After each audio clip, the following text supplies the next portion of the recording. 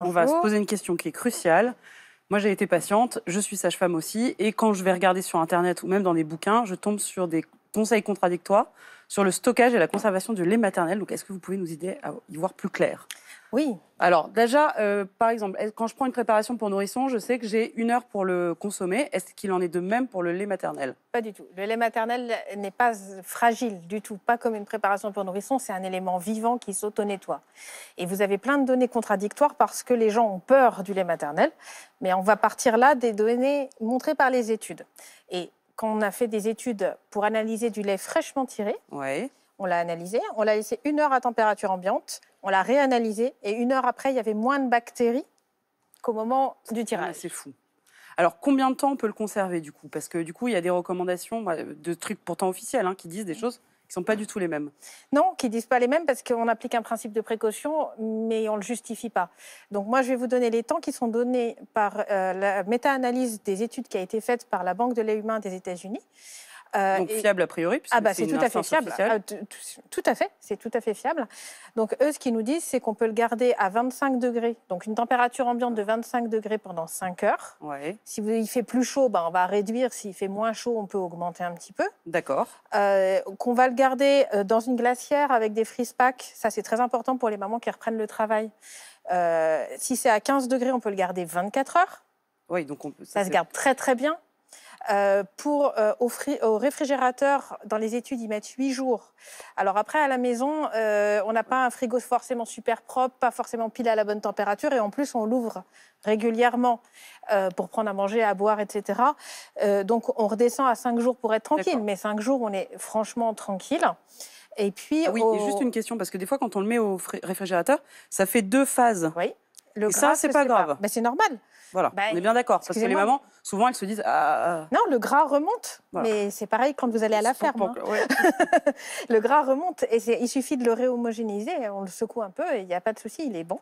Très bien. Et au congélateur, pour une conservation optimale, 6 mois. Jusqu'à un an, ça, laisse, ça reste largement euh, supérieur à une préparation pour nourrisson. Et au bout d'un an, euh, c'est pas qu'il est plus bon, c'est qu'on l'a jamais étudié, donc on ne sait pas. D'accord. Et là, on parle bien des congélateurs, donc séparés les mamans qui ont juste un freezer, donc un petit compartiment dans le réfrigérateur, non, ça, c'est pas du tout la même chose. Le, freezer, c'est deux semaines. Euh, et puis, une chose importante, c'est qu'on ne cumule pas les maxima de conservation. Ah. On ne peut pas l'avoir gardé 5 heures à 25 degrés, puis après le mettre 5 jours au frigo, puis après encore le congeler. Ça, ça fait Qu'est-ce qu'il y a On choisit, du coup, par exemple Non, c'est pas qu'on choisit, c'est qu'on va le laisser moins longtemps. On peut très bien le laisser une heure à température ambiante, et puis après le laisser 3 jours au frigo, puis après le congeler. Ça, il n'y a pas de problème. Une, une question aussi cruciale, par exemple. Donc, j'ai euh, pris du lait dans mon frigidaire que mmh. j'avais laissé deux jours. J'en donne un peu mon bébé, pas de bol, il veut pas tout finir. Est-ce que je le jette Alors, ou est-ce que je peux le garder? Si c'est du lait maternel qui n'a pas été congelé, vous pouvez le remettre au frigo et le redonner le repas d'après. Il n'y a aucun risque. On a des études récentes qui le montrent. Il n'y a aucun risque à faire ça. C'est quand même fondamental de le savoir. Parce que combien de femmes et puis alors, jeter son lait maternel, c'est juste horrible. Quand on, en plus, c'est pas super fun de tirer son lait. Euh. C'est ça. c'est un peu dommage. Et alors, dans quoi on stocke? Parce que là, c'est pareil, on, lit plein de choses, on voit plein de choses. Alors, le... ça dépend si vous stockez au réfrigérateur ou au congélateur. Alors, réfrigérateur d'abord. Au réfrigérateur, a priori, le mieux pour la conservation du lait, c'est le verre. D'accord. Après, si on a des récipients en plastique alimentaire, il n'y a pas de problème, mais c'est mieux conservé dans le verre. Le verre, c'est pas la peine d'acheter des pots en verre spécifiques pour le lait maternel, tout ça. On peut prendre n'importe quel récipient en verre qu'on a chez soi. Un pot de confiture vide, propre, lavé. Hein. Mais un verre aussi, tout bêtement. Et on lui met un film alimentaire par-dessus avant de le mettre au frigo. Donc ça, c'est important de le recouvrir. Oui, on recouvre le lait maternel. Ok. Euh, donc pour le réfrigérateur, euh, des pots en verre, un verre, euh, ça va très bien. Pour le congélateur, c'est pas pratique parce que ça prend énormément de place de congeler dans des pots comme ça, puis ça revient vite très cher. Donc pour le congélateur, on peut prendre des sachets faits pour le lait maternel. ce Donc, type ce type-là, par exemple, ça, c'est vendu exprès pour le lait maternel. Mais en fait, moi, j'utilise très souvent, tout bêtement, des sachets à glaçons. D'accord. Parce qu'après, ça permet de décongeler un glaçon, deux glaçons, et ça coûte beaucoup moins cher. Donc, super pratique. Il existe aussi des bacs à glaçons spécialement faits pour le lait maternel qui font des barres de 30 millilitres qui passent dans le goulot des biberons. Donc là qu'on va voir. Super pratique, voilà.